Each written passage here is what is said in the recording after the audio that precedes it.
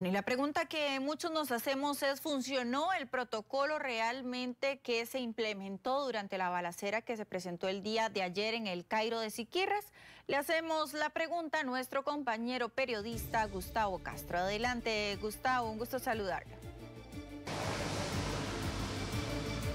Saludos cordiales, muy buenas tardes. Nos mantenemos en la lluviosa provincia de Limón este martes Importante recordar que dichosamente los tres niños y la madre de familia que resultaron heridos de bala como parte de esa balacera que se dio ayer en Siquirres y que cobró la vida además de un hombre quien era el objetivo de los sicarios se encuentran fuera de peligro las víctimas colaterales de ese hecho.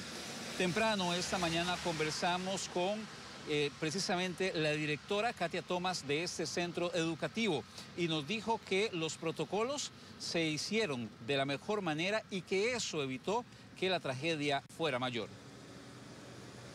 En estos momentos lo que me afectó un poco fue que el 911 no proceden con la ambulancia inmediatamente, pero sí es lo que dice, llamar al 911. ¿Por qué? ¿Cuánto duró la ambulancia? Cuénteme sobre eso. La ambulancia duró casi una hora.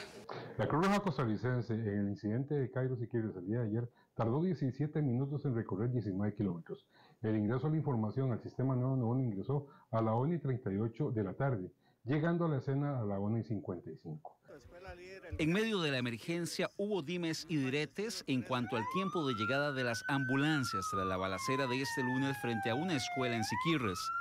Más allá de eso, la directora se refirió a la activación de los protocolos correspondientes en medio de la desesperación propia de un tiroteo con niños de por medio.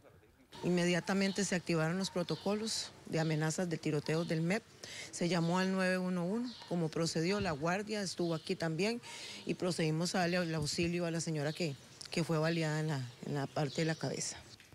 Pese a ello, Tomás cree necesario incrementar las medidas. Claro que sí, hoy nos vamos a reunir por Teams con el, comité de protocolos de la escuela, el comité de emergencias, con vida estudiantil.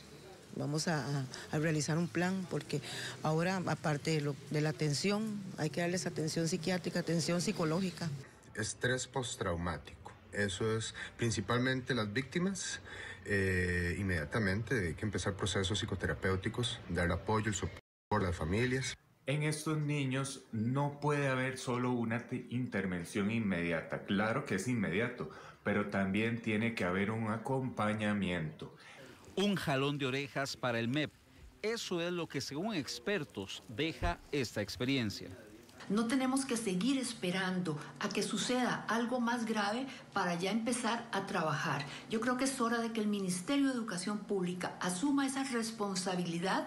Pasa por la parte de prevención, es prevención para decirlo a grandes rasgos, es estar listo para el peor escenario esperando que no suceda. ¿Qué está ocurriendo con la seguridad que debería de reinar en un país democrático y de paz como lo hemos tratado de promocionar a otras latitudes?